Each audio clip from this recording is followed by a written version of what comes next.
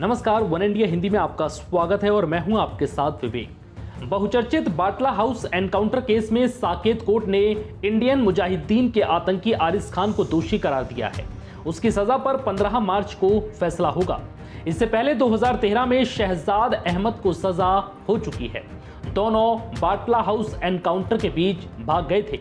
इनके दो आतंकी साथी आतिफ आमीन, मोहम्मद साजिद मारे गए थे। जबकि मोहम्मद सैफ पकड़ा गया था। दिल्ली पुलिस के इंस्पेक्टर मोहन चंद शर्मा इसमें शहीद हो गए थे, जबकि दो पुलिसकर्मी घायल हुए थे।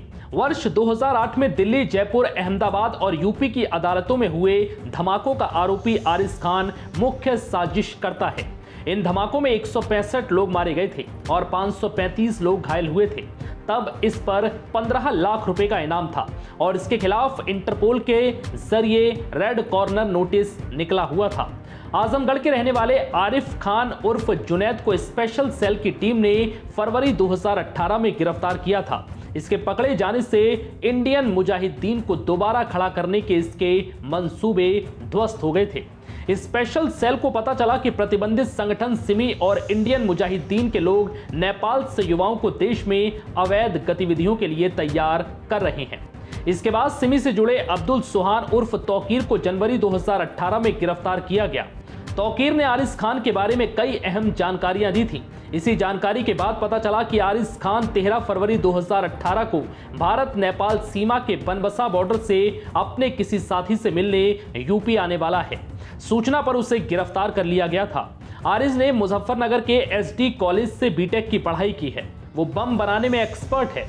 धमाकों के बाद आरिज नेपाल भाग गया और वहाँ की नागरिकता हासिल कर सलीम नाम से रह रहा था। उसने इसी नाम से पासपोर्ट भी बनवाया था। आरिज ने नेपाल में एक रेस्टोरेंट खोला था और इसके अलावा वो वहाँ पर पढ़ाता भी था। वो नेपाल में 2014 तक रहा।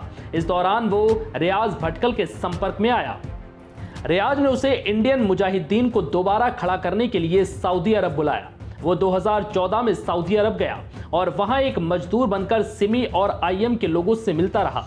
वर्ष 2017 में वो सऊदी अरब से वापस लौटा। फिर वो भारत में इंडियन मुजाहिदीन को खड़ा करने के लिए नेपाल से गतिविधियाँ चला रहा था। और 2018 में इसी सिलसिले में भारत आते वक्त पकड़ा गया। आरिस को जिहाद के लिए आतिफ अमीन ने प्रेरित किया था, जिसके बाद आज आरिस को साकेत कोर्ट ने दोषी करार दे दिया। फ़िलहाल इस वीडियो में इतना ही। नमस्कार।